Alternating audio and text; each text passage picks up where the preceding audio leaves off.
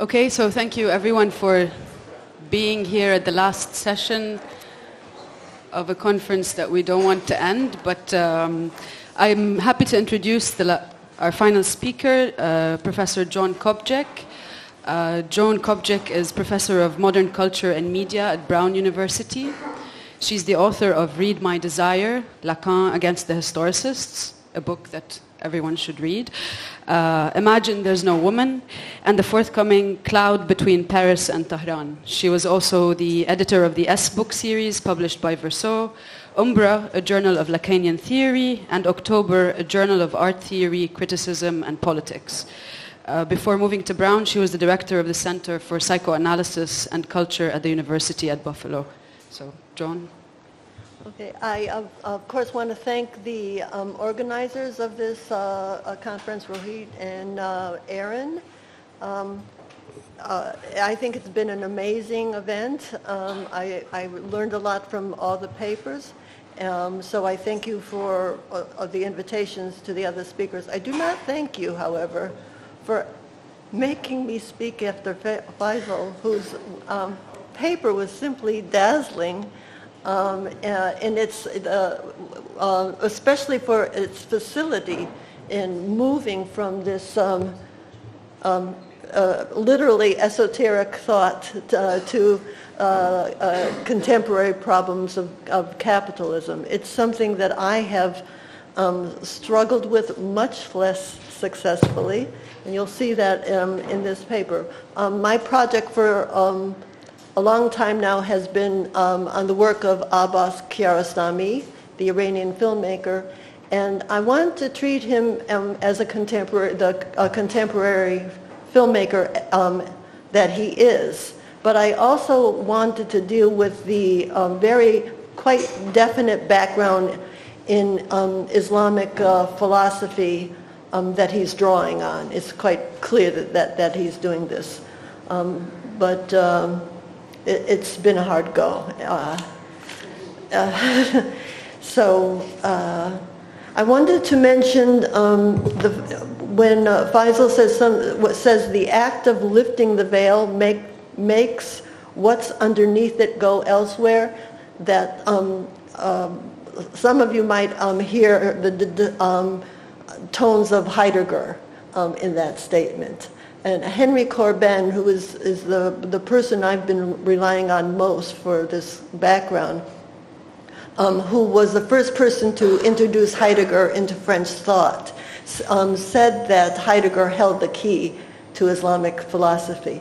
He eventually um, found another, I mean, it was important to Corbin for a very long time, but at, at a certain point it was Mullah Sadra that was the dominant influence in his thought.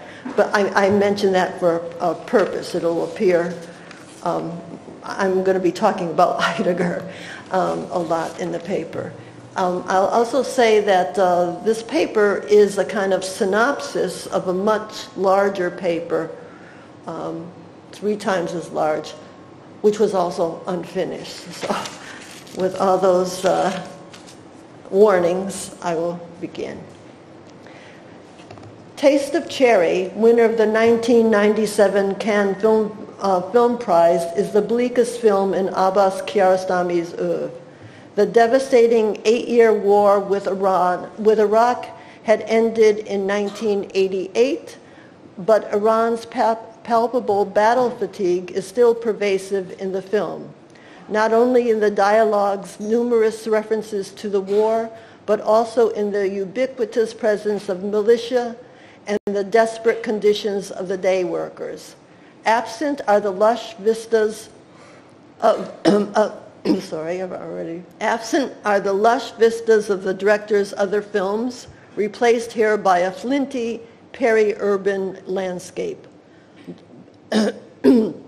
Bulldozers dig deep into the earth, emitting harsh sounds and creating perilous crevices, as if intent on ripping out by the roots the lone tree perched on a hill whose signature presence is sadly missing from this film. That there is not a single woman in the film is also disturbing. Not because it demonstrates um, Kiarostami's indifference to the plight of women, as many feminists have claimed, but because their absence testifies to the aridity of conditions that nourish desire. Sometime before the film begins, Mr. Badii apparently took the decision to commit suicide, for he spends the whole of his screen time trying to accomplish what turns out to be a not so simple task. The focus and fascination of the film lies in the effort it takes to carry out his resolve.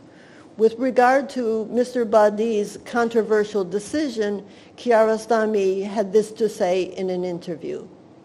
The choice of death is the only prerogative left to a human being in the face of God and social norms because everything has been imposed on us from birth, our parents, our home, our nationality, our build, the color of our skin, our culture. If this or some such explanation seems warranted, it is because, because Badii displays no real distaste for life and even goes out of his way, rather humorously, to mention his love of eggs, which he has given up out of concern for his cholesterol. The film gives um, no hint, in other words, that there is anything lacking in his life, any particular circumstance from which he is eager to withdraw. But um, how to put together Kiarostami's explanation with Badii's specific situation. I suggest we start with a passage in which Emmanuel Levinas sounds as if he had someone precisely like Badii in mind when he wrote, there exists a weariness which is a weariness of everything and everyone, and above all, a weariness of oneself. What worries then is not a particular form of our life, our surroundings because they are dull and ordinary, our circle of friends because they are vulgar and cruel. Weariness concerns existence itself. In weariness, existence is something like the reminder of a commitment to exist and of the impossible refusal of this ultimate obligation. In weariness, we want to escape existence itself and not only one of its landscapes. Taste of Cherry, I want to argue, is legible through the concept of fatigue developed by Levinas in his early work, Existence and Existents other than the fact that this concept clarifies the odd, odd and uncertain trajectory of the film, fatigue has the advantage of allowing us to confront simultaneously the contemporary issues at the film's center, issues of war and capitalism and their antipathy to fatigue, and the philosophical background that informs Kiarostami's image-making practice.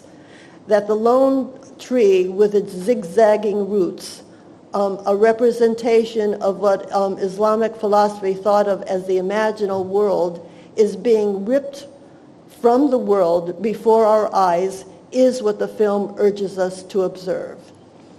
If Levinas positioned, um, uh, uh, if he shines a light on this conjunction, um, okay, if Levinas um, uh, shines a light on this uh, conjunction, it's because he has, um, he too addresses concerns stemming from our biocapitalist present while rejoining a tradition that began with a thought experiment conducted in the 11th century by Avicenna, the um, initiator of the Iranian turn in Islamic philosophy.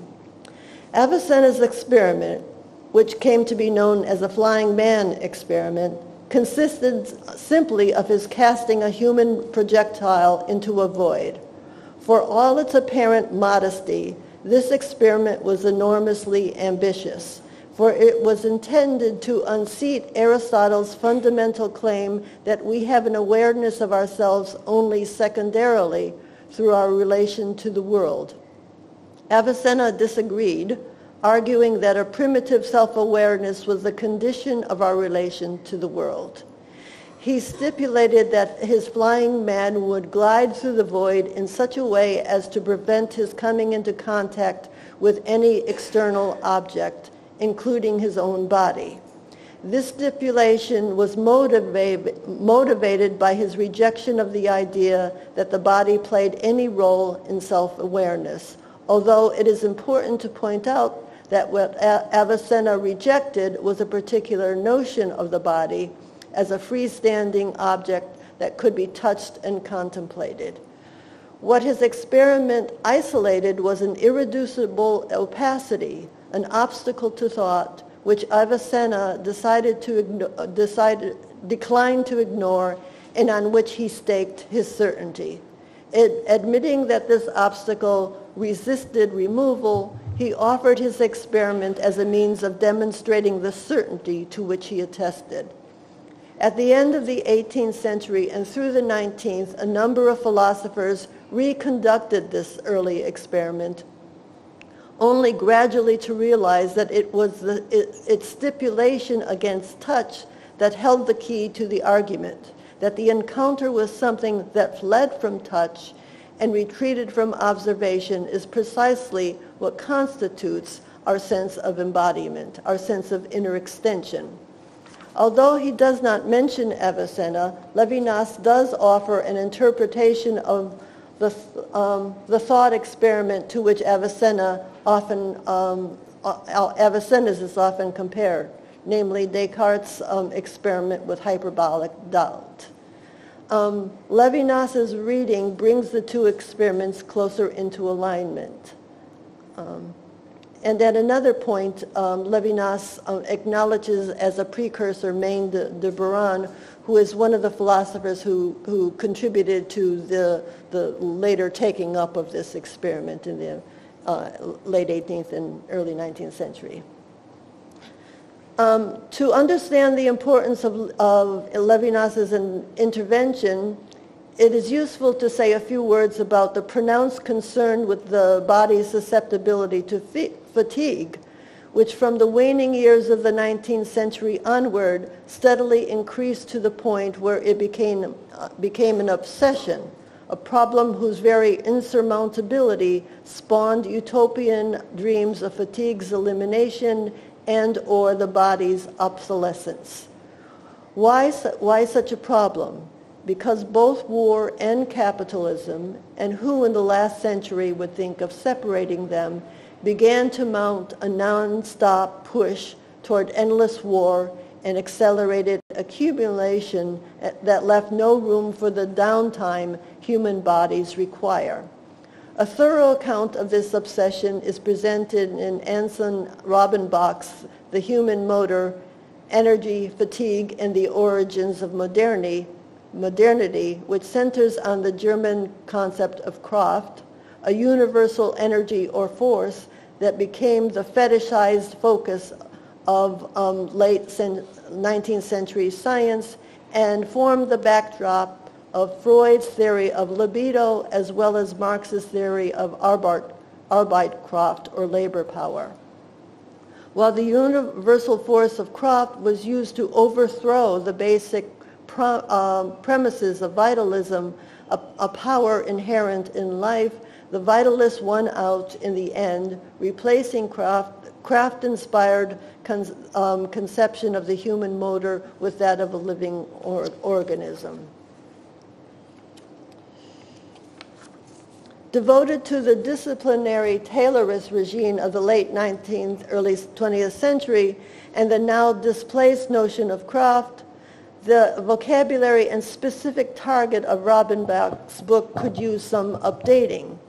24-7, um, 24-7 Late Capitalism and the Ends of Sleep, a recent book by Jonathan Crary, seems to answer uh, to this need for it dwells on a new form of unmitigated capitalism that, devoid of the utopian impulses that once characterized early modern industry and buttressed by a capacity, thanks to the advances of science, to remain unblinkingly awake, this unmitigated form um, regards fatigue with an unprecedented enmity. The aim of 24-7 is to call attention to the latest phase of what we might think of as capitalism war, cap, capitalism's war on bodies and attempts to imagine ways of resisting it. To this end, one, it turns towards dreams and sleep as bulwarks against capitalism, even as it rejects entirely not only Freud's work on dreams, but the whole of psychoanalysis, and two, several times evokes the work of Levinas without giving any real account of the latter's argument. The price Crary pays for this double neglect is his failure to get beyond the notion of a need to sleep in order to elaborate what is entailed by the desire for it, a concept he seems to be aiming for without being able to produce. Taking a stand against the reduction of human existence to its bodily needs, Crary, Crary critiques capitalism's devaluation of dreams and desires. If the problem we confront, however, is not capitalism simple, but as Foucault famously argued, capitalism's only uh, uh, unholy alliance with biology and the other life sciences, then the, it is that alliance which assigns life a dual position simultaneous, simultaneously outside history in its biological environment and inside human historicity penetrated by biopower's techniques, it is that alliance which must be undone. This dual position is indicative of a dualistic understanding of life in which the first term, life in, in its biological element, is simultaneously foundational and susceptible to erasure by the second, life in its historicity. Thus, biocapitalism's field of operations can, and increasingly has, become all of life except that part that grows fatigued and, and dies. In the absence of a full-fledged argument, which in my opinion would give both Freud and Levinas their due, Crary's defense of dreams and desires often reads as a humanist concession reliant on the pathos of human finitude and frailty as the ground of community. This does nothing to disrupt capitalism's dual positioning of life, but traps itself in the bio-capitalist orbit wherein cultural forms and political formations are conceptualized as the means by which human life defends itself um, um, against, against it uh, it, against its own deficiencies. Um, in addition, Crary advocates for um, a good privacy against a bad privacy, which he finds um, the bad privacy he finds in Freud's theory of dreams, without offer, offering an account of their difference. What's more, the good privacy he champions, which, as we will see, contains its own hell, is o- always only represented as a welcome retreat. 24-7 is to be credited for once again placing the capitalist vendetta against fatigue on the agenda while drawing attention to the counter concept formulated by Levinas, um, who intended it as a means of exposing, in his words, the lies of capitalist idealism.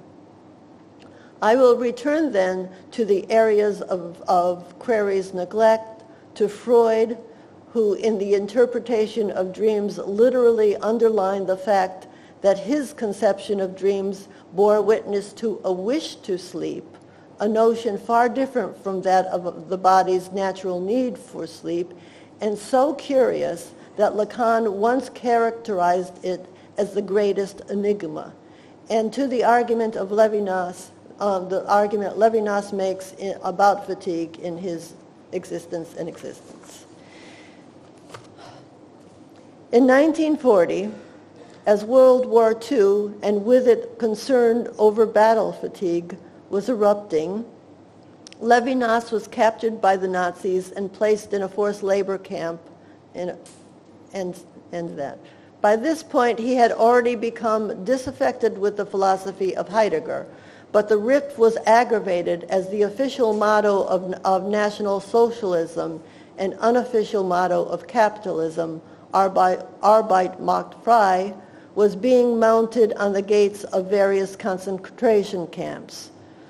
Heidegger's notion that Dasein was consigned in its being, that it um, had to assume as a task what was given, came at this time and under these circumstances to seem all the more unpalatable. It was during his imprisonment in the labor camp that Levinas, Levinas began to compose his thoughts on fatigue, which he would conceive not as a phenomenon befalling an already constituted and embodied subject, but rather as what constitutes embodied subjectivity. He defined fatigue as an enigmatic recoil from and return to anonymous existence, or to what he called the il y a, the there is, the term um, with, uh, with which he placed Heidegger's general term es gibt. I refer to the recoil return of fatigue as enigmatic in order to stress its non-phenomenological character, that is the fact that it does not occur to a subject already there. But I also want to propose that fatigue is that greatest enigma, that very thing, in, um, in other words, the desire to sleep, which Lacan's phrase designates. The movement of recoil return does not take flight from existence, but inserts a hesitation, a caesura, a lag within it. To put it in terms made famous by Herman Melville, fatigue is a recoil, a preferring not to, that also returns, um, thus acknowledging the irremissible character of our contract with existence. The resistance um, of uh, Bartleby to all uh, attempts to dislodge him from his office, his place, um, his staunch refusal to depart the premises evidences the, um, the fatigue that defines his peculiar act. The lag produced by, uh, produced by recoil return, or in a word, the cleaving, that is the, that is the separation from and simultaneous clinging to, holds open a distance from anonymous being and thus makes possible the subject's relation to existence. And um, this refers, the way I use relation, we, I can refer back to the discussion that we had um, yesterday, I think it was, um, about, um, and, and um, whenever I say relation, I'm, I'm, I'm mean the relation as that forms on condition that there is a non-relation. It, the, the relation happens in, the, in this space of negativity. Okay. Okay. Um, the subject is not the agent, uh, the agent who forges this relation, but the place open or uh, afforded by it. The subject is a place in existence, Levinas says, purposefully avoiding the word world in order to distance himself from Heidegger's notion of thrownness, whereby Dasein is said to be cast or thrown into an already existing world where it does not feel at home and thus projects itself beyond that world toward the there. It is this ecstatic dimension of Heidegger that Levinas, Levinas finds intolerable, believing it to be inadequate to a theory of immanence. Um, he therefore insists against his former mentor that the subject is not situated in a place, but rather is a place. The subject is thus defined as the primordial event of localization, the first place in existence, and in this way precedes the world um, of established places. Place um, is different from a simple abstract point. It uh, implies extension, um, which is not to be confused here with the distance between one concrete location and another. The relation to existence forms the, territory of an inner extension and thus runs from the subject as I to an otherness it now assumes as its own, but does not fuse with and um, cannot appropriate. appropriate. Levinas asserts that this relation to the il y a, this ex- extension of the subject, is what is called inwardness. And if you ask where it is so called, where it is so called inwardness, um, it would, the answer would be in that long philosophical tradition that runs from Avicenna through Maine de Biran, where it is claimed that an inner sense or pri- primitive self-awareness necessarily precedes the subject's relation to the world. And I will be returning again to that point. The three, whenever, like, the three,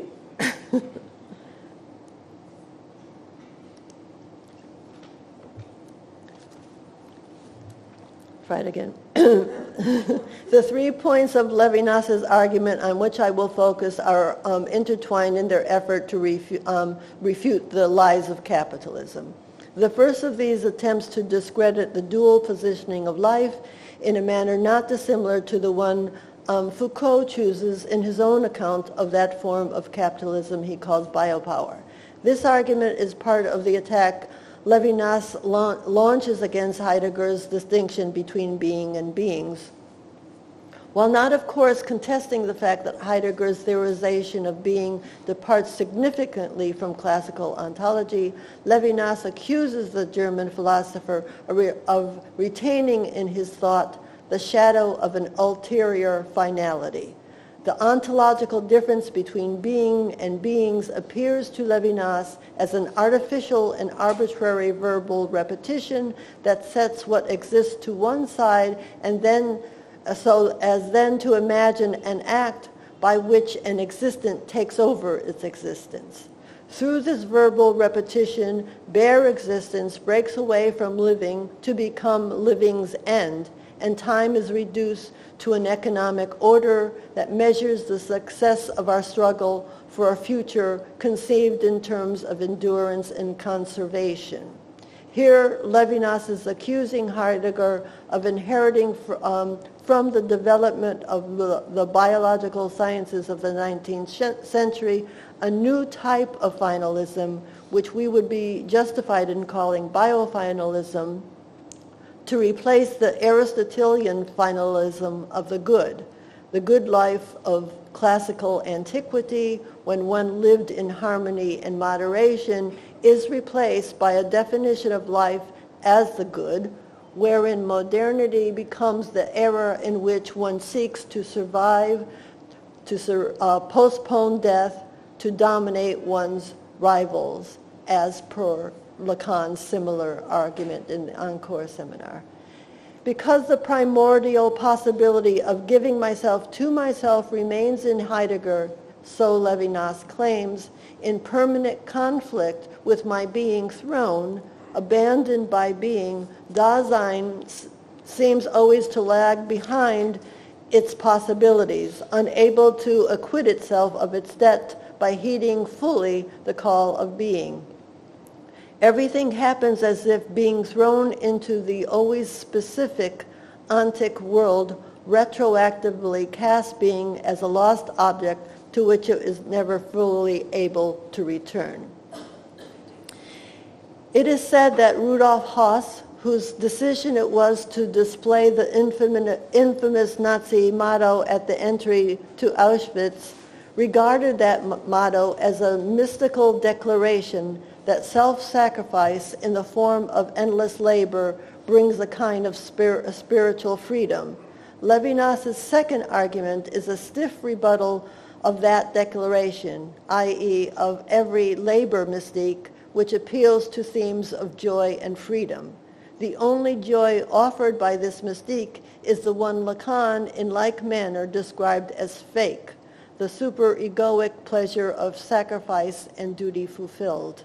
Levinas uh, ties this critique to his critique of that biofinalism he detects in the Heideggerian circuit, which leads each moment of our existence to the notion of the task of existing. When one has to eat, drink, and warm oneself in order not to die, when nourishment becomes fuel, as in certain kinds of hard labor, the world, he says, becomes unhinged. This statement does not stop at condemning the conditions of, of subsistence to which the poor are reduced, but aims beyond this at the ontological assumptions that permit these conditions to exist. Ultimately, the mystique of freedom, freedom promising labor, relies on, the, on a supposition of a lack or deficit which the subject seeks to overcome by the willing sacrifice of her labor for some greater and far-off gain.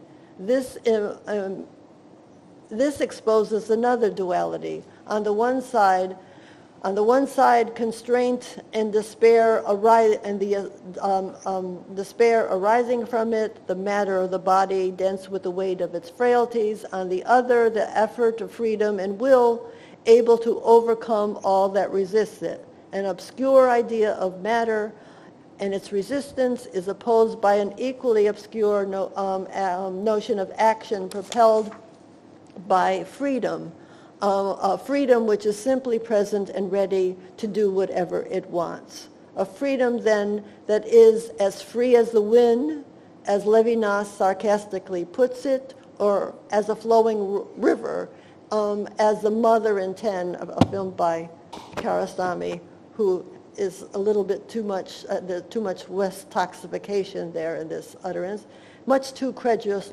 credulously asserts. It is this magical notion of freedom, which comes from nowhere and puts nothing at ri- risk, that is responsible for counting fatigue as a nullity, a drag on the high-speed economy and the pace of production. Levinas's own conception of fatigue takes off from a, different, a radically different point um, from, from this biopolitical one. It is associated not with lack privation, or the spent energy of worn out bodies, but with an excess of anonymous existence that is, uh, that is with the il y a from which the subject is unable to escape and to which she remains um, incontrovertibly bound.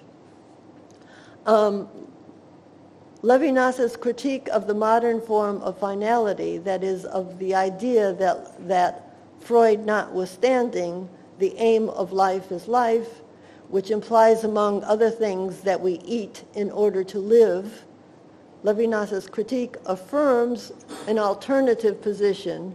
We eat to satisfy our hunger. Hunger cannot be understood in this context as a physiological feeling of emptiness that demands to be filled in order to keep the organism going, but evokes rather a kind of voluptuous or desire, and, and desire as Aaron referred to it, and to which I will return, unlinked to simple survival. The deliciousness of cherries, for example, referenced in the title of Kiarostami's film, makes an appeal to this hunger or desire where the cherries are not simply there for the plucking. Rather than advocating a return to a simpler, plainer life or an appreciation of smaller things, Taste of Cherry should be read as an indictment of the metaphysical calamity that grounds the refusal um, that, that grounds the refusal of biocapitalism to acknowledge the very excess on which Levinas insists, even as it, that is, biocapitalism, unwitting, unwittingly deploys this excess in extreme forms of violence. One would argue, as Lacan, one could argue, as Lacan does, that this excess is the very thing capitalism tries to get rid of. Um, the excess, um, which the il y a is, shows up as well in um, Levinas's third argument, which maintains that otherness is the condition of time rather than the, uh, rather than the future to which the mystique of labor attempts, tempts us into leveraging our sacrifices, existence and existents privileges the present in which effort and fatigue forge a relation to existence. The present of Levinas escapes the Derridian critique of presence inasmuch as much as it extracts from the subject a ransom, the ransom of its sovereignty. And I will, well, I say I'm going to return to this point, but maybe in the discussion, but I do, it is an important point to return to this question of the ransom. Now, um, now this um, quickly sketched quarrel between Heidegger and Levinas sets the stage for a return to Taste of Cherry, specifically to the assertion uh, that the fact that everything has already been imposed on us from birth makes suicide a prerogative. Kiarostami's statement cannot fail to call to mind Heidegger's co- contention that Dasein is thrown into a world without having chosen to come into it and without having chosen the circumstances that obtained there. Existing as thrown, Dasein constantly lags behind its possibilities, which always seem to precede it and burden it with guilt. The, primor- the, the primordial dejection attendant on this experience of utter passivity can, however, be overcome. Dasein can successfully assume its own destiny by anticipating its ownmost possibility of death.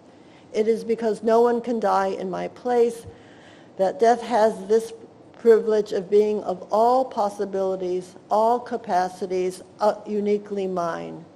The assumption of this exceptional possibility of the end of possibilities, i.e. of impossibility, does not require us actively to seek our own death, but to anticipate it. By means of an anticip- anticipatory resoluteness, we take over the whole of our destiny by assuming the manner of our approach to death.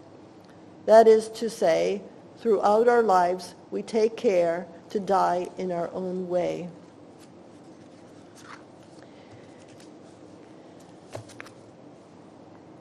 It is this argument that um, it is in this argument that Heidegger's indebtedness to 19th century biological sciences seems most clear to Levinas, who revolts against it on the grounds that, as um, Foucault will later put it, it volatilizes death, distributes it throughout life, instills within it a kind of mortalism. Le- Levinas distrusts, however, the whole concept of being towards death, including the concept of nothingness that it is supposed to anticipate. For nothingness is still envisioned by Heidegger as being in the place of the now vacated place of being's ground. It lies outside being and like an ocean beats up against it on all sides. Levinas therefore turns to examine um, Bergson's famous uh, counter-argument which rid- ridicules the concept of total negation as impossible and the concept of nothing as illusory. In the end, however, Levinas rejects Berg- Bergson's argument as well, since it is premised on the belief that the something that, that remains beyond all negation is for Bergson a residual entity, namely the force of life. For Levinas, for Levinas, on the other hand, the excess that survives negation is not an entity and has no content. It is, on the contrary, what is produced by the negation of all content. From here, we are able to respond to an admonition made by Derrida on behalf of Heidegger and against Levinas. Um, and this is what Derrida says. Nothing is more clear, he says, waving his finger, um, in Heidegger's thought um, than the fact that being is nothing outside the existent and does not exist outside and does not exist outside the existent as a foreign power or as a hostile or neutral impersonal element. Being is not an archaea which would permit Levinas to insert the face of a faceless tyrant under the name of being. This, this, this article, uh, the article by Derrida is largely praises Levinas, but does have certain harsh accusations as well. This criticism um, simply misses the mark. For Levinas did not dispute the fact that existence is nothing outside the existent. What he disputes is the characterization of this nothing as a simple nullity. The il y a, he insists, lies in the very heart of nothing. It inhabits the heart of negation. Thus, Levinas rejects both Heidegger's void of nothingness and Bergson's vital force to affirm what he describes as the density or atmosphere of nothingness, the teeming or murmuring of nothingness. Um, in brief, the il y a in the presence or in the presence of, in the presence of an absence. And let us recall, by the way, that Lacan at certain point speaks um, in these terms of the teeming of, of the real. I think it's in um, it's, a, it's an opposition to something that Sartre says about the nothing. Now this debate, I claim, helps to make Taste of Cherry more legible. The remarkable premise of the film is that Mr. Badii is, un, is unable to assume the task of his own death and so solicits the assistance of others, attempting through long conversations to convince three strangers, a Kurdish soldier, an Afghani seminarian, and a philosophically minded Turkish taxidermist to take part in his suicide. For us, the critical, critical point is the reason he gives for needing someone else's help in ending his life. Um, it, ha- it has to be noted that he does not require that his accomplice assist him in carrying out the original deed, but that he perform his role afterward by throwing 20 shovels full of dirt on his dead body. It seems clear that Badii is not troubled by an anxiety of death. Rather, what seems to arouse anxiety is the impossibility of dying. It is undeadness that fills him with horror. It is undeadness, or to use Levinas's own phrase, the indefectibility of existence itself that is the horror Badii seeks to escape through suicide.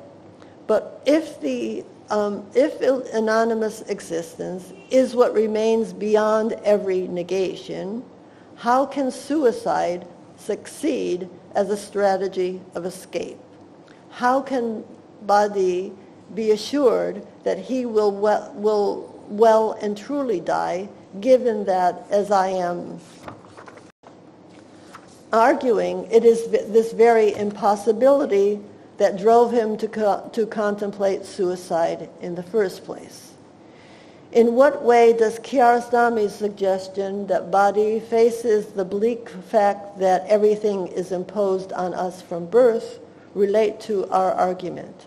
It is precisely because there is nothing prior to existence, because every transcendent principle or superior being that might have been assumed to guarantee or determine our destiny has been negated uh, because this instance has, um, has withdrawn, been withdrawn, that being is but the being of the, but the being of this existent, as Derrida rightly says, but without acknowledging that far from disputing this point, Levinas exaggerates it insisting that existence is irremissible and that the existent, existent is riveted to it. While there is thus no faceless face of a tyrant hidden under existence, no ontic entity, no ontic element in ontological clothing, as Derrida's criticism would have it, there is no doubt that tyranny may and does emerge in direct response to the murmuring of the il y a, can appear w- later as a content. We are riveted to the very void, empty, sorry, um, we are riveted to the, to the void, the empty void, the, the, even the void, the empty even, um, yeah. We are, we are riveted to the void, even the empty void, whatever power of negation is applied to it. It is worth stressing this point, the horror of it, not only in light of Kiarostami's clear invocation of tyranny, but also in light of the picture of a cloying and naive altruism to which recent reading, readings, including Crary's, have tended to reduce Levinas's thought. It is not via the frailties, limitations, or helplessness as um, um, as uh, helplessness as biology would understand it, that um, Levinas approaches the finitude of the subject, but via a kind of helplessness much more in line with the Freudian concept of Hilflosigkeit. While Heidegger privileges the anxiety of death, Levinas focuses, as he and others have pointed out, on birth. It is uh, again necessary to warn against readings of Levinas that see him as offering a gentler, less virile alternative to Heidegger. Levinas focuses on the horror of birth, uh, on the horror birth confronts, in a way not dissimilar to Freud. It is well known that um, Freud characterized the birth of the human being as premature and consistently maintained that this prematurity placed her not only um, at the beginning, but throughout her life in a position of radical helplessness or Hilflosigkeit. This phenomenon is first introduced in the project where Freud um, tells us that the, um, the initial helplessness of human beings makes them dependent on the extraneous help of an experienced person, and that this relation of helplessness and dependency is what establishes helplessness as the primal force of all moral motives. I stress this because it seems to open up that kind of reading of Levinas that I don't like, and, uh, and but I th- I'm claiming that it it, it doesn't it it, it, it, it opens up a, a different reading. Later, in inhibition, symptoms, and, and anxiety, he correlates helplessness with anxiety. After contemptuously rejecting Adler's conjecture that anxiety is caused by an organic inferiority, he turns to the thesis formulated by Rank in the uh, Trauma of Birth, which states that anxiety is dependent on the child's loss of the mother. The thesis, the thesis um, earns um, the admiration of Freud, who nevertheless rejects Rank's lar- um, larger argument on the grounds that it leaves no room for the etiological importance of the sexual drives. Um, this is no mere quibble, as Lacan himself recognizes, arguing in support of Freud's reluctance to embrace Frank's, uh, Rank's um, thesis thus. While man's libido attains its finished state at the time of birth, the prematurity of birth results in a delay of the libido's encounter with an object. That, that is how this special fault, Hilflosigkeit, is introduced, perpetuated in man in relation to a dimension of externality or otherness infinitely more fatal for him than in the than the external world is for another animal. So he's invoking a kind of ex externality which is not the exter external world. This is clear enough, at least to me. Um, the primordial helplessness of the newborn and indeed the human being throughout her life concerns not her defenseless defenselessness against the outside world, but against that negative excess psychoanalysis thinks as um, um, libido or jouissance. It is not with a deficit so much as a surplus that the newborn is, is burdened. For in the absence of an object, jouissance is lethal. We misconstrue the infant, infant's wild cries of helplessness if we take them as inar- inarticulate pleas for the mother's presence. What provokes them, rather, is an overwhelming imminence that announces to the child that she will be taken back up into the mother. Let us rephrase this. In the very heart of negation, of the loss or separation from the mother, emerges the suffocating presence of her absence, which threatens to vampirize the child, to swallow her in its uncanny presence. For Levinas, it is only through the recoil, return of, of fatigue that a distance will open up. For Freud and Lacan, it is the famous game of Fort Da. In both cases, it is only the possibility of a distance from the mother that the child is able to assume a relation with her and thus begin to feel secure in her presence. For this reason, the concept of anxiety found in Freud and Lacan approaches more closely to the horror evoked by the il y a than it does uh, to concept, uh, Heidegger's concept of anxiety. In addition, while for Heidegger anxiety anticipates the uh, individual subject's death, for Levinas as well as psychoanalysis, one could argue anxiety is correlated with a death or radical absence. That is not the subject's own and has already happened. This is uh, connects to the event that has already happened um, that we find in uh, Frank Ruda's argument and in, in Alenka's argument. For Heidegger, finite human existence means that the subject must face the inevitability of its own extinction, or what, what has been termed the first death. For Levinas and arguably for psychoanalysis, finite human existence has to face a second death, one that is impersonal and inextinguishable. Freud begins to posit such a, di- a difference when he pointedly distinguishes anxiety from mourning. Anxiety responds not to a loss one, uh, one has experienced and can thus uh, and, and can thus mourn, but to a loss that precedes us. This non-phenomenological loss produces something we cannot let go, the presence of a ceaseless, interminable absence, which Freud recognizes very early on through his conceptualization of das Ding.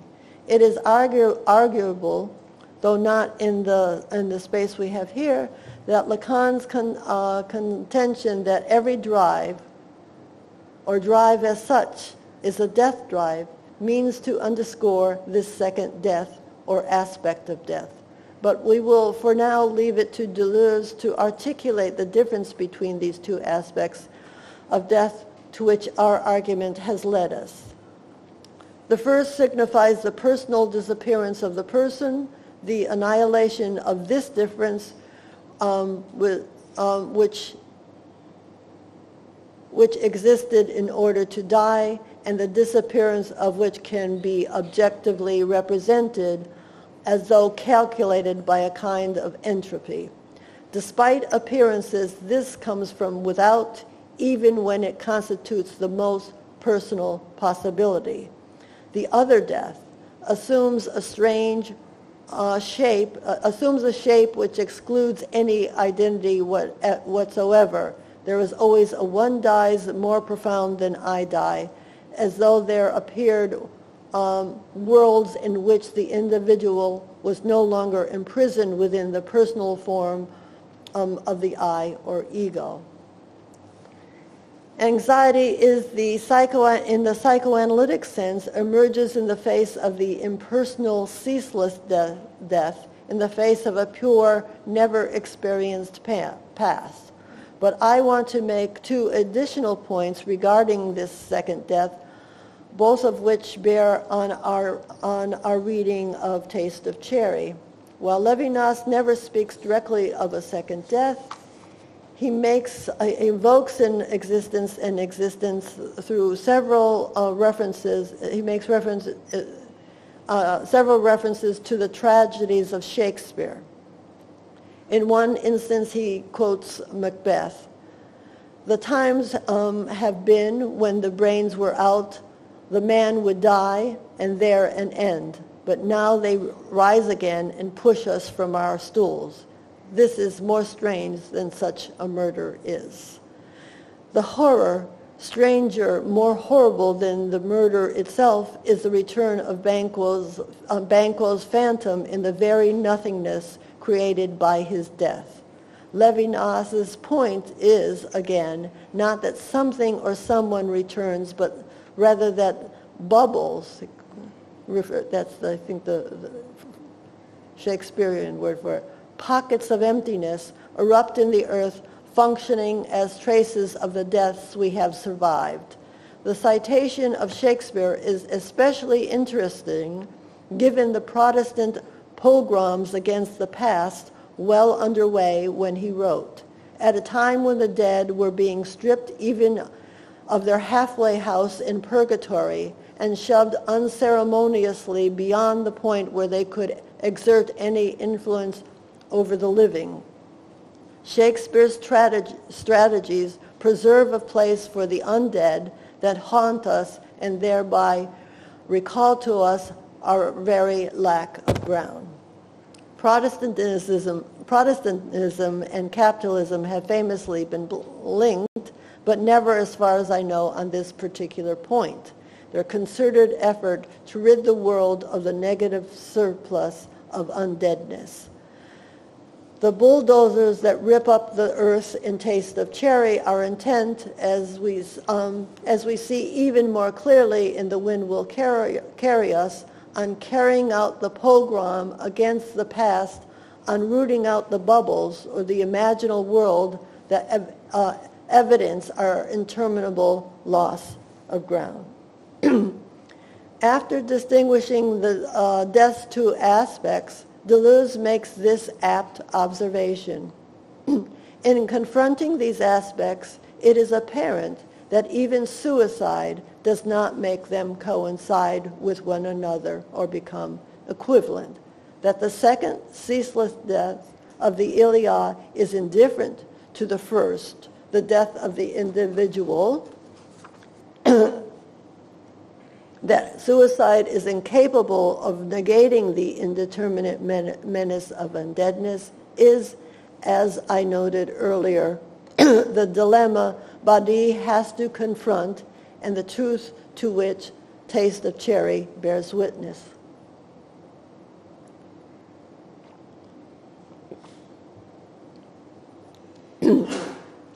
the question thus becomes, how, if not through suicide, is it possible to resolve the fatalism of everything imposed at birth? The first um, two people from whom Badii solicits help, a military and a religious man, only confirm his fear that everything is determined in advance. Rules and regulations have been set down long ago and must be observed, including the injunction against suicide. They therefore refuse Badii's request. The third man, however, agrees to help after relating a story of his similar contemplation and subsequent re, uh, rejection of suicide. But this man is nowhere to be seen in the pen- penultimate sequence where Badii, entirely alone with the, um, is entirely alone with the night. Throughout the film, Badii has driven around a, a desolate, desolate landscape. This sequence takes place in a different location, at his home as he awaits the taxi that will take him to his gravesite. Shot from a great distance, the scene is filled almost entirely with a vast and silent night, uh, darkness of night. Badii, a small speck in the frame, nearly impercept- imperceptible but for the light of his cigarette, regards the impersonal night with a sleepless intensity as he moves restlessly from room to room, making, we imagine, his final preparations. But we cannot be sure of this. The fact that we can barely see him and that the camera, which does not move, calls attention to the edge of the frame, leaves open the possibility that it is he who is being, who is being watched by the sleepless, uncaring night, exposed to an, an anonymous gaze. The, the vigilance of insomnia, which keeps our eyes op- open, has no subject, Levinas writes, almost as if commenting on Badii's restlessness, um, but uh, restless but diminished presence. Attention, which presupposes the freedom of the ego um, that directs it. It navigates a world filled with dangers to be avoided and opportunities to be seized. It turns towards objects in the world. For the majority of the film, Badii has, with rigid determination, occupied that world, uh, occupied that world.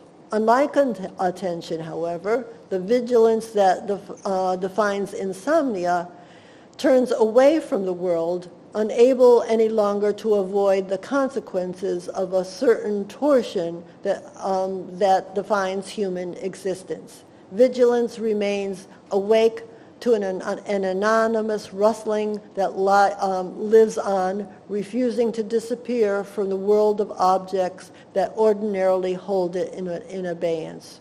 We would add that insomnia names a, a helpless vigilance, divorced from will and intention, and implies the impossibility of sleep, of any kind of respite from, wakeful, from wakefulness.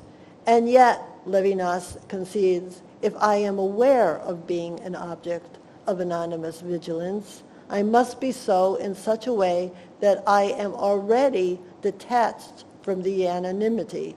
That, that is to say, my very awareness necessarily implies that I have taken some minimal distance from that, um, from that vigilance in which my subjectivity is eclipsed.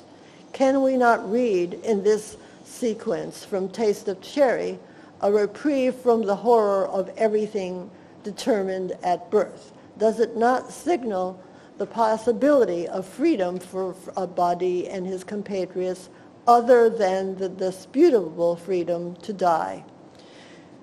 Kiarostami follows the extreme long shot of the night with an arresting close-up. In an overhead shot, Badii is shown so smugly framed that we can say he is the place in which he in which diegetically he rests.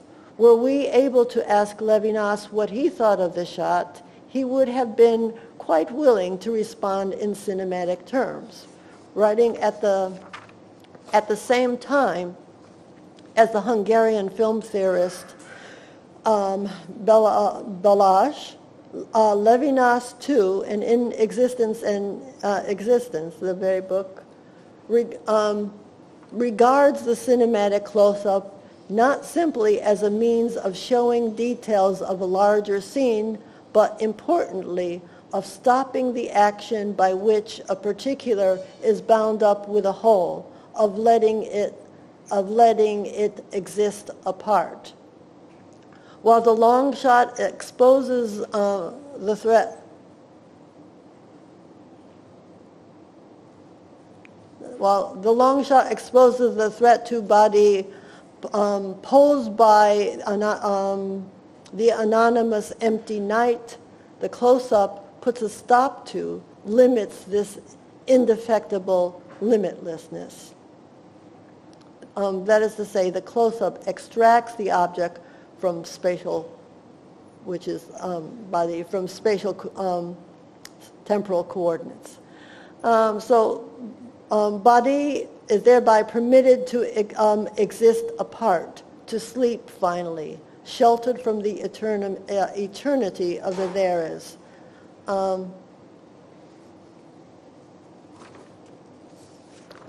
sleep, finally, um, is not conceived by Levinas uh, or sleep is, let's say, the sleep, the desire for sleep, as conceived by Levinas as well as for Freud, is not a matter of escape, but of participation by non-participation, um, which should not be confused with the enactment, and here I quote Levinas, should not be confused with the enactment of a new life beneath life.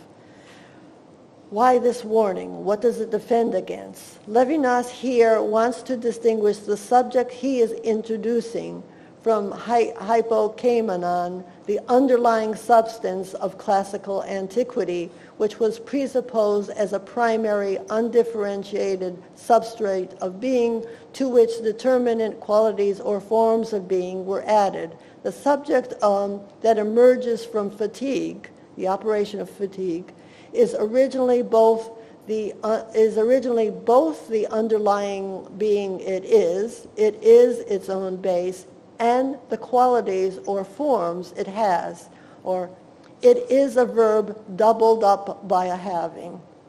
That is,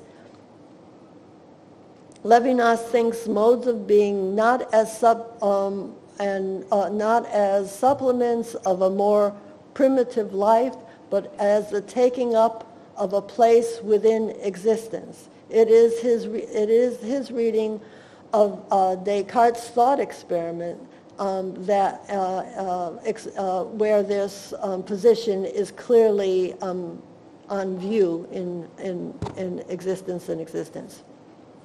What Descartes finally affirms is not a logical term or, subs- or substance, not a sub- substance underlying thought, but an intimate and indissoluble relation between the ego and its act, the unique relationship of an I with a verb in the first person. The certitude of the cogito bears on the relation wherein the I clasps itself, clasps itself in its own otherness to itself. Now, I, I embarked on this project because I was following up on some, um, you know, uh, um, on an, a, a, longer paper I wrote about um, the uh, uh, Avicenna's thought experiment in the body. And I come back to the question of the body through this notion of fatigue, which seemed to bring Kiarostami's project into the modern world more easily. Um, but in this paper, I don't, uh, or in, in the part of the paper I was able to read here, the body seems to disappear a bit. So I just want to sketch out to um, you how it, it gets reinserted or will get reinserted and how it's implied. Obviously, it's Im- implied in the fact that this inner extension is about the, uh, the relationship of the subject to its body. It's, it's always an embodied subject. Um, um, okay. Uh, so first point I, I, I, would have made in a longer one to, go, to bring back the notions of, of both bodies and the question of freedom, which is, is important because the our, whole argument of Levinas is against this um, capitalist notion of freedom. Maine-de-Biran, whose work um, uh, on the body um, uh, on the body is endorsed by Levinas, is critiqued on two points. One, that it is too reliant on will, and two, it proceeds, um, uh, uh, Maine-de-Biran pr- proceeds as if the body is something discovered by the subject, where Levinas says the body is an event, um, an event of the, subject, uh, uh, of the subject, or the condition necessary for inwardness. No inwardness without body. It's not uh, um, abstract inwardness. Two, um, the, the question of the relation of having a body and having a past must be brought together in the longer, um, um, in the longer argument. Uh, uh, as, and, and, and the fact that this, uh, that this relation concerns, as I say, the I and the having of, of something, a past or a body, um, this is not, it, it, cannot be conceived as a fusion. And the way um, Levinas puts this is um, in the following way. We are unable to merge with our bodies with the innocence of Narcissus espousing his own image. Um, so the body remains a kind of opacity or um, dark spot in the mind. Three, um, the, the connection of the past with the body um, I would go de- um, uh, through um, a, a, statement um, that Lacan makes in the anxiety sem- seminar, where he speaks of the body not as a whole, but as, a re- as real cor- corporeal morsels, portions of ourselves that can never be retrieved, but remain lost objects. So that would be critical to the development of the, the, the fuller argument. Um, um, and then finally, the idea that rather than being as free as the wind, the capitalist notion, freedom is, um, is uh, in, in Levinas, is bound to a past, and a past that has already happened. Uh, the worst thing has already happened. Um, um, uh, and the, but the subject has never experienced it. Um, in uh, Difference and Repetition, Deleuze makes a few brief remarks on fatigue, very pertinent ones, I must say, and follows them with the following remark. A scar is not the sign of a past, um, of a past wound, but of the present fact of having been wounded. The scar contracts all the instants which separate us from the wound into a living present. Now this is a psychoanalytic insight. Freud, in uh, Remembering, Repeating, Working Through, says we must make it clear that the patient's state of being of, of, being ill cannot cease with the beginning of his analysis and that we must treat his illness not as an event, uh, uh, an event of the past, but as a present day force. Um, and my argument would be that fatigue transforms the um, uh, il y a, the murmuring of the, the, of the pure past, into a present day force in the body. And from there, the subject, through its rela- uh, unique relation to this unexperienced path, freedom, is, freedom means expressing a desire from that point of excess. Um, yeah, the, so freedom is responsibility and the capacity to articulate um, a desire on the basis of it. So it ends up again with an ethics of not as there was a, a tendency, as was mentioned here in the discussion, to um, privilege drive over desire in terms of the question of ethics because the ethics seminar came early, but it seems that Lacan goes back and insists on um, ethics being associated with desire when he, uh, when he says we must learn to, uh, ethics means speaking well of one's desire. So that's, that's it.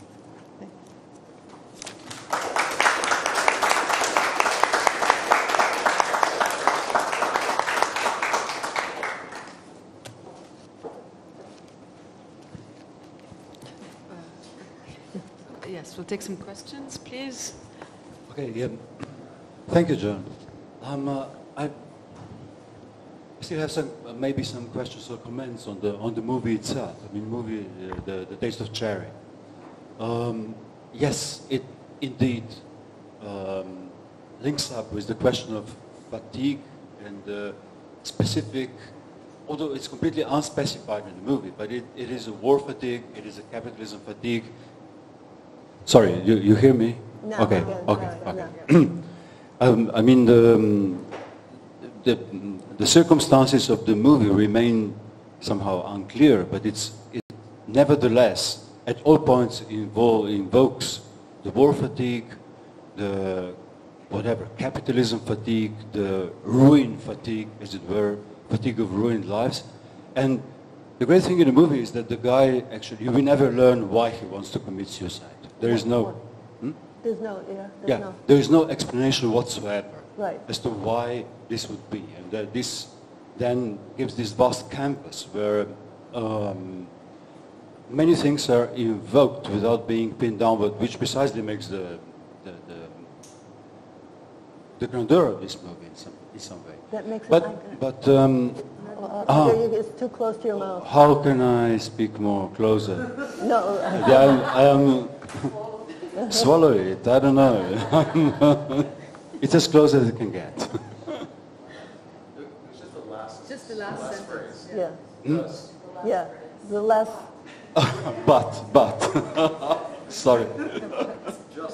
No, no, no, no. Okay. Uh, there is no reason for this man, no reason given in the movie for this man to want to commit suicide, which opens up all this space uh, of, uh, of the discussion which you delineated. the question of fatigue and the question of il y a, the question of the void, whatever. Um, nevertheless, there is this um, double movement. I mean, he, why does he want someone to assist him? He wants someone to, first, to make sure that he is dead. So there's the anxiety about the impossibility of dying. I mean, he might commit, suicide, but still it's impossible to die. But there is also another anxiety for the, the film can be read in this way, that there, there is a Polynices looking for his Antigone. He wants to make sure that he'll be buried. And the act of burial depends on the survival of the Vikata. He should be allotted a space in, in the big other which will survive him, in some symbolic universe, which is never... So it's both, they're both things. I mean, the impossibility to die, but also the wish to, to allot a particular symbolic space to death. It should be acknowledged as a death. Otherwise, it wouldn't be a death. Huh? So th- there is a survival of the, of the big cut. And then, um, well, the question arises, you didn't touch the last scene, which is the real enigma of the movie. The real enigma. So I, I was wondering how do you read the, the last scene? Because you, you end it with the, this close-up shot with the, whatever, the, the cloudy sky and the, Yeah. Well, the ending, closer, and, and then you have the completely incredible ending, which is actually what happened the morning after. Like, did the guy, this taxi driver, did he do what he was supposed to do? What, hap- what happened? And then you have this shot, which is actually the shot about shooting the movie, yeah. where the guy walks around, prepares for the next shot. Uh, these soldiers rehearse for the whatever for the appearance in the movie. So you have the last shot, which is completely enigmatic, which wraps you up in the in the self-reflexive movie universe after this last suicide scene. So I, I was wondering how, how you read this this last scene. Okay, the last scene is very controversial and, and it's enigmatic even to uh, Kiarostami. Um, he doesn't know whether to keep that scene. He put he, he, he, he first made it without it. He added the scene. Um, uh, he was uh, hesitant and showed, and he, he, he tried it out in various audiences. And I think it was Jonathan Rosenbaum, at least the he, Jonathan Ro- Rosenbaum, claimed to me that it was he who was the, um, you know, sent a wire to, uh, a, a- message to uh, saying you really must keep it in. So it, it, Kiarostami was ambivalent about it. Uh, it's important to say that the it's not um, it's not a, the the last shot is not film. It's a it's a, it's a digital image. So he switched to another um, image. So what's what's clear about it? First of all, and what happens in the scene that every everyone who was in the film appears. Badii appears and all the other uh, people appear, but outside, uh, um, slightly outside their roles. And there's a there's a form of, of, of drama which is very important um, to Kiarostami and to a number of uh, directors called ta- tazia, um, in which the um, the characters do not um, uh, don't fully inhabit the, the role. Well, they, they, they, they, they act while, we, while having the script in, the, in their hands, even though everyone knows all the story. They repeat it, but they don't, they, they'll try to um, um, um, become, you know, one with the characters. They're a bit outside of, of the characters throughout. So I see it that way, but this is a, a ritual performance, a kind of repetition. Um, uh, um, and, um, and, and, and, and so it works with the, what I'm, um, the idea that I'm trying to, uh, I mean, in some ways it's, a, it's an idea available in other ways that there's a kind of return when uh, to some instance, uh, uh, the, we were talking about it in terms of uh, Walter Benjamin um, earlier today. There's a return to something of, um, in, in the past that, that allows us uh, something to flash up, something new to emerge. It's, it's basically this idea. It's also this idea in, in Lacan, Seminar 11, when he actually uses the term, when he talks about the drive, the movement backwards, um, he talks about, he says, with all the connotations of, exhaust, of exhaustion which are there. And then he reads, at the end of the, of the, the seminar, he reads this, um, um, the um, Burning Child Dream, which is about an all-sleeping world. And I really, part of what's left out here is a reading of that dream through this theory that match that makes the Levinas and, and uh, uh, Lacan um, link up more. So yes, it is about that further repetition. But the question whether he whether um, he committed suicide or not, in, I mean, it's always a question. eh, But but my my point is that look at what happens. We have a, what what you see on the screen is the long shot and uh, and then the close up. That seems to me to be where you have to begin, not simply on the narrative level. Kiarostami hated narrative. On the level of those shots, what's going on? That's what I try to explain, I guess. Just a very small. It's just a very small comment. But I'm trying to remember about the role of the cigarette in the movie. There's he's smoking a cigarette, right? I think so. And there's also the, the, the night is illuminated. But you could, uh, you know that Levinas is one of the only philosophers who talked about smoking. Who- So there's Levinas. So Yeah. there's a passage in Levinas when he says that smoking cigarette is actually kind of a one of the first and best figures of uh, temporalization. So it's smoking a cigarette is a way of escaping the anonymity of the il y a in Levinas. I mean, as an, I forget which essay. It's kind of a passing comment. It's very interesting because this smoking, you know, introduces this kind of primordial rhythm. You take a drag, you inhale, exhale, and that very simple rhythm actually breaks up the distinctionless, arrhythmic, impersonal night of being, as it were. So the cigarette actually stands for the way of, of stopping this anxiety of deathlessness. And I wonder, it would be funny No. to connect. I mean, I'm also thinking, of course, of Lenka's paper. Like you could connect somehow these two papers on this topic of smoking, because you could say the problem of quitting smoking from a Levinasian perspective. I mean, it's interesting. When you smoke, you're constantly reminded of something that starts and ends. It's a, it's a perfect figure of finitude. You know, it burns, literally. It turns to ash, and then you repeat that gesture over and over. So the problem of quitting smoking is actually not the problem of coming to an end of something, but the problem of being confronted with endlessness. You can't quit, because smoking actually stands for a primordial sense that things can begin and end, that there's a rhythm. I mean, this is also, you could say, Levinas's critique of Freud, in the sense that when Freud, you could also say, what is the point of fort da? I mean, Freud maybe too quickly has a representational model. Know, it, the, the spool stands for the mother.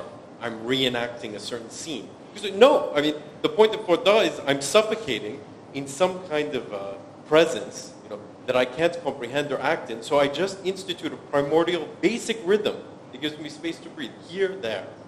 Now I'm no longer just stuck in a kind of empty nothingness. I, mean, I think you're absolutely correct to link Levinas and Lacan against Heidegger. I mean, I think that's, that's very clear. But I don't know. I think, that, I, I, can't remember, this passage on smoking would seem to, It- maybe could say something about the movie in regard to that. I'm not sure, but anyway. It, it just seems, yeah, the, in the two points that I quoted of Levinas at length, or the, and they, they match, to me, they matched the movie so close. The uh, idea of weariness, the, the not what, Badii has no reason to, to, to commit suicide, and so this passage on weariness seemed to match up, and also the insomnia, which is that that's uh, to me definitely the uh, penultimate sequence is a, a, a insomnia sequence, and so. Yeah. Uh, well, when, when I watched the film a few years ago, one of the things um, I was uh, kind of, uh, it left with me was that there, uh, uh, I felt that there was a certain kind of exhibitionism of death wish, that this, you know, this person, he's trying to engage with the other, another person, and he's kind of getting involved in a certain kind of a sadomasochistic, uh, you know, dialogue that he's continuing to kind of, uh, with the idea of suicide, And at the same time, there is a push to postpone it. And postponement of suicide uh, amongst patients, even uh, you know, in, in, the clinical literature, it's been described that uh, uh it's a kind of uh, a, torture of the soul which person perpetuates and prolongs it. And sometimes that uh, prolonged catastrophe sometimes gets them out of it as well. So in, in the context of this film, I just wanted to know whether you've looked at it from that point of view, or what are your thoughts? Well, I'm trying to say that there's a, there is an uh, uh, there is a what what what is necessary is the uh, installation of some gap, some you know some pause, yes, in order to escape the il y a. That, that's the argument of, uh, that's the only, you can't flee from it, you're bound to it, so the only thing is to have, um, take some minimal distance from it, so that the idea of be good, uh, uh important, would work there too. But what also works is the fact that he needs to speak to everyone in, in Kiarostami film needs to speak to someone. His, his basic format of his film is someone in a car and the other one in the in the driver's seat, and someone um, um, in the passenger seat. And it's this conversation that takes place between them, not a face-to-face conversation. Uh, you know, it's this side-by-side kind of conversation that is important to them. So if I, when I develop the argument about the um, ransom, the ransom, is what, what, what um, Levinas means by this um, a, a, a, ransom. He's talking about the, the present. He said the present, and, and I could do say a lot more about what Derrida thinks of the present and what Levinas thinks of the present, and, and, and why they're they're different. But um, the um, but the present for um, uh, is important for Levinas, as I say. But he says it is fleeting. The present is always fleeting. It doesn't last. That seems in some ways to be a kind of, uh, yeah, everyone knows that. That's how you define the present as fleeting. But there's something, but the, what's interesting about him is, it, it, it, in his argument, it depends on, he, he, talks about a ransom. To whom is the, ra- the ransom has to be paid to whom or, or what? and it, it, is to another. It means that at that, uh, the, the moment one isn't alone in the present. One is alone with the alone. One is alone with, uh, you know, uh, uh, an, anotherness, that one doesn't inhabit the, pres- the present by oneself. So, I mean, th- and this throughout Kiarostami is striking, the, the way that one needs, you know, has, uh, you know, a partner Yes, uh, thank you very much. Actually, now that uh, I mean, I, I, really find some links uh, between what I was trying to think and, and your talk and what also uh, Aaron mentioned. And actually, I, I, like this idea very much that the helplessness, it's actually helplessness vis-a-vis the surplus enjoyment, not simply helplessness in this kind of uh, directly physical way of being treated. And uh, I see a certain link here between this kind of feeling threatened by the surplus enjoyment and this whole Zeno's fantasy of the devices as precisely embodiment of extension of our bodies that actually uh, it's kind of um, gains independence of our bodies and it's threatening us uh, in return. Mm-hmm. So the, the, the, whole fantasy of high devices will actually kind of swallow us. I think it's a fantasy precisely about being helpless vis-a-vis this kind of a surplus enjoyment uh, gaining uh, whatever power, and then the, the, the, whole fantasy of the only way to really die, I mean, to get rid of this negativity, is for the whole earth to explode. I mean, that you have this kind of second death scenario just put in the future to get you rid precisely of this uh, of this dimension of uh, this little thing that can grow. Mm-hmm. Uh, to, to, I don't know if you see that there is a possible connection. Uh, well, I mean, in the I don't way. Think, I don't. Yeah. I. I mean. Uh, to, uh, not to the, like the whole world would explode. It's not like that catastrophic so much as um, things could change.